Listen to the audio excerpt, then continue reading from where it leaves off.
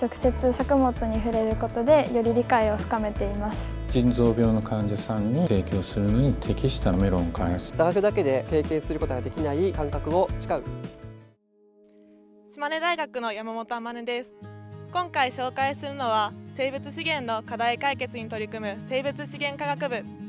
科学技術でライフと向き合う産学科より今回は農林生産学科をご紹介します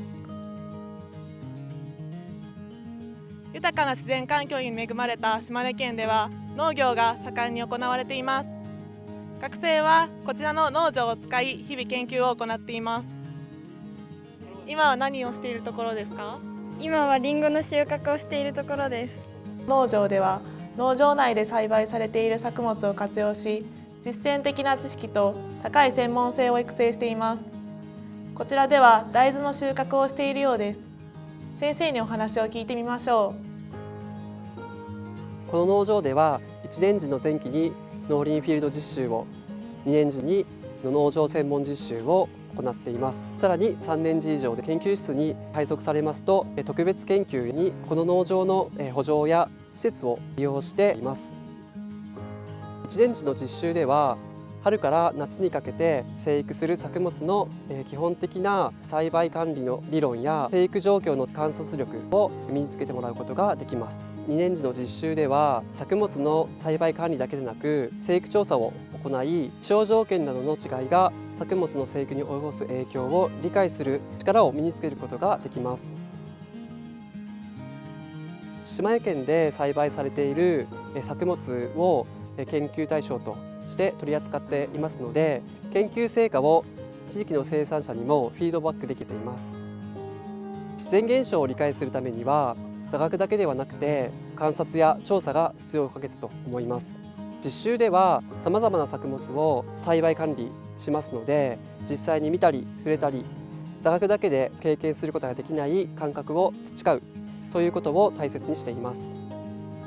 実際に農場で自然と向き合うことで深い知識と高い技術が身につくのですね。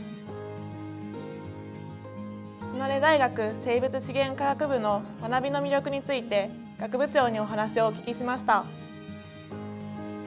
農林生産学科は農業林業こういったものを中心に学ぶ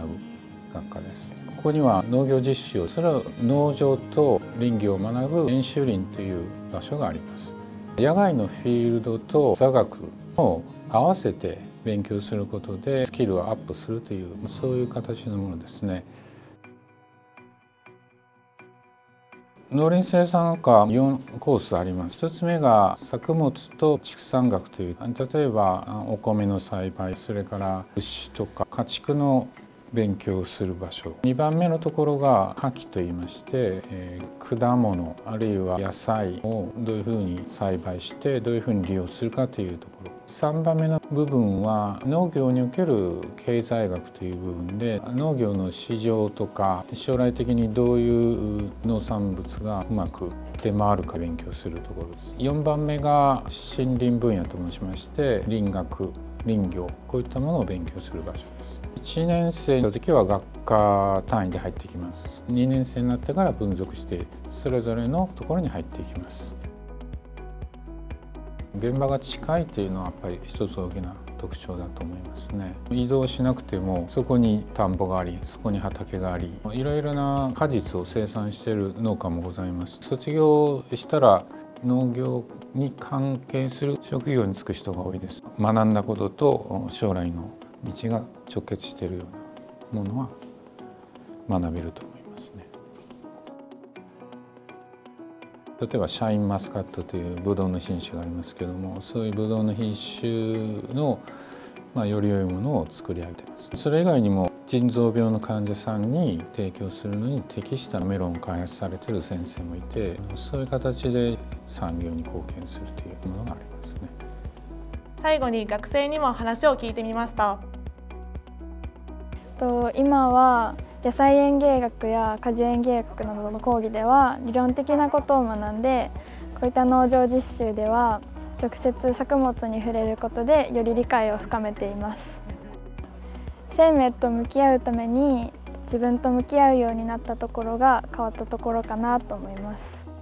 先生や地域との距離が近いのでとてもアットホームなところが魅力だと思っています。